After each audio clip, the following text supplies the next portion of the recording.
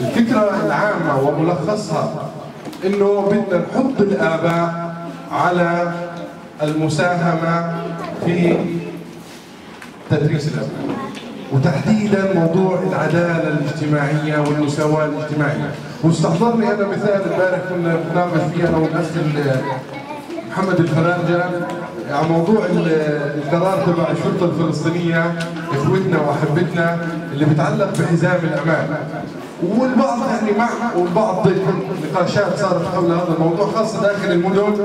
على اعتبار أن السرعه القصوى لا تتجاوز 40 صح ولا لا محمد؟ فالهدف إذا كان منه تعزيز سلوك الانضباط والالتزام بالنظام والقانون كل الاحترام للقانون على راسنا من فوق وإحنا أول الملتزمين بهذا القانون. وكذلك الأمر فيما يتعلق بمشروع صورة واحدة. أعتقد إنه الهدف منه هو تعزيز الروح الإيجابية. داخل هذه النواه في مجتمع النواه الاساسيه الأسرة، إذا صلحت الأسرة باعتقادي صلح المجتمع بشكل عام نسأل الله الصلاح للمجتمع ولنا جميعا. شرفنا بالتعاون والتعامل مع فعاليات أطبوع من بلديه من مركز نسوي من مجموعات للاباء من أطفال أيضا.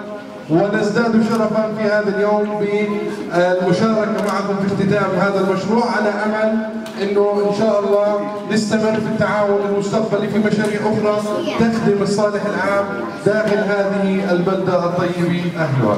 وخاصة في الأدوار النمطية اللي بتنالها الذكر أو الأنثى واللي بتعيد من تقدم المجتمع وتطوره ونمائه وإحنا بندرك جميعا بأن الأسرة هي عماد المجتمع والإصلاح داخل الأسرة هو إصلاح بمثل المجتمع بشكل كامل بيحدث تغييرات وتأثيرات عميقة على المستويات الاجتماعية والمستوى الاقتصادي والناتج الإجمالي على المستوى السياسي إذا إذا أحسننا إدارة هذه الأسرة والتعامل مع مكوناتها والأدوار الموجودة داخل هذه الأسرة. إحنا خلال الفترات الماضية جرى تحديث على الواقع الاجتماعي الفلسطيني، اليوم في عندنا زيادة بنسبة عالية جدا من التعليم، حتى انها بتغلب الإناث في مكانتهم من عملية التعليم، كمان في عندنا نسبة عالية أصبحوا اليوم في حالة في حالة من التشغيل ومساهماتهم الفعالة في سوق العمل الفلسطيني، هذا هذا كل التغيير اللي طرأ على الأنثى لم يواكب عملية تغيير في الدور النمطي المأمول منها داخل الأسرة. على هذا الاساس اليوم إحنا بندعو للمساهمة الذكوريه في تخفيف الاعباء عن عن المرأة والمساهمه في العملية التعليمية كصورة نمطية أولى أو كحالة أولى. ولكن يجب أنها تمتد لكل مسائل الحياة ما دام العلاقات أصبحت تشاركية والفعل تشاركي والناتج تشاركي. اذا في كل الادوار لازم يكون في حالة من التشاركية الفعالة خدمه لأغراضنا الاجتماعية. الاعلامي بحاجة منا يركز على ضرورة تعديل الأشكال النمطية في العلاقة داخل الأسرة. التربية والتعليم بالضرورة أن تركز على هذا الاهتمام خاصة في موضوع كمان حتى المدرسين في المدارس. وتعزيزها ومن هاي المؤسسة. مناهج بالنسبة لأعمارهم بتصور إنه صعب مش بدهم متابعة شوي زيادة. فوق مستواهم الذهني اعتقد إنه بزيادة يعني. أنا يعني يمكن عشان زوجتي كمان درست ابتدائيه بس مش مش متوقف منيح يعني. بتابع الاولاد بس أنا نقدر نقول 10% يا سيدي. منيح لا بس مستوى تعليم الاباء والامهات له علاقة في في الأختيار. كل الاحترام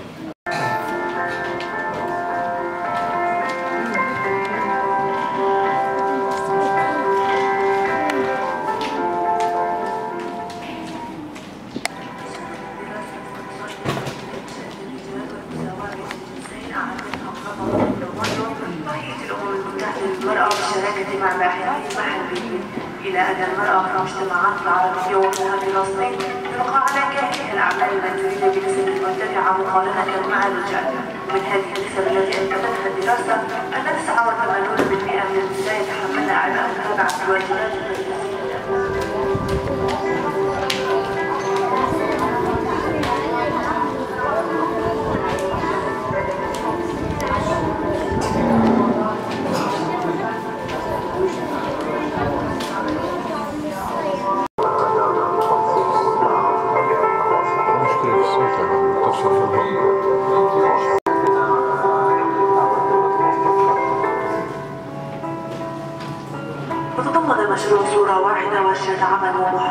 مجموعة من الآباء في بلدية قوى شرق بيت رحم وغير الدورة جنوب الخليل لإشراكهم في مجال تدريس أبنائهم من أجل تغيير الصورة النمطية حول تدريس الآباء والمساهمة في العملية التدريسية.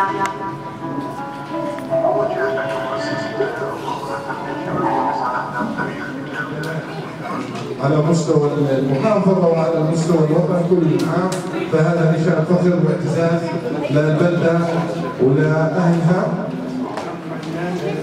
بحلال بجانب الحقيقة للأسف اليوم المناهج الموجودة في صورتها السطحية والشفافة لا ترتقي إلى عقول أبنائنا بل على العكس اللغة العربية على الأقل أصبحت لغة آه، تقسيم الجديد بصراحة هو منهاج آه، فلسطيني بحت. ومنهاج راعى عدة أبعاد يعني أنا بدعوكم تطلعوا على المنهاج وتشوفوا إنه راعى البعد الوطني والبعد الاجتماعي والبعد الاقتصادي لأنه يوضعوا هم آه، معلمين ومشرفين ودكاترة بدرسوا في الجامعات الفلسطينية فهو نتاج فلسطيني بحت 100% وراعى جميع الابعاد. بس بدنا للمنهاج كمان حاجة. المنهاج اليوم يراعي الكيفية والنوعية وليس الكمية.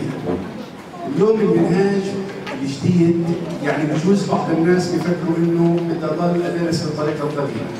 المنهاج اليوم بني على أساس الأنشطة.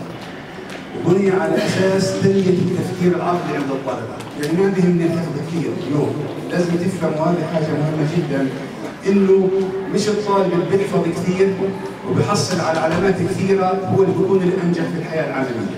الحياة العملية لا تقاس اليوم بالعلامه.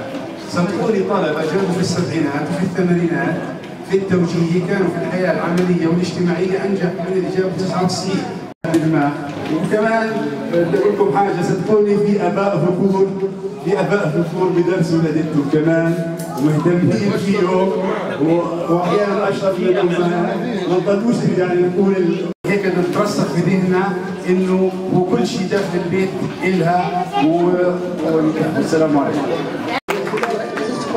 كان المشروع مشروع مشروع صورة واحدة اللي بيحكي عن أباء ايجابيين إذا عندهم سلوك ايجابي تجاه آه، تدريس أبنائهم. سلوك إيجابي في مشاركتهم في زوجاتهم بمفهوم الشراكة المنزليه لأنه ال- البيت مبني المفروض يكون على الشراكة ومش هو مسؤولية المرأة لحالها لأن المرأة كمان ساهمت وهي موجودة في أدوار مختلفة عن دور ال- البيت والتربية. هي كمان موظفة هي كمان صانعة قرار هي كمان موجودة آه، في الأحزاب السياسية هي موجودة آه، في عمل مجتمعي آه، هي موجودة في وظيفة وبالتالي هذا التغيير يجب أن يساهم إنه في تغيير مع الرجل كمان في أدواره، مش معقول ان المرأة تساهم في كل هالتغييرات والرجل يكون فقط هو عمله إنتاجي أو سياسي لازم يكون له دور في العمل الإيجابي أو عمل الرعاية الاسريه.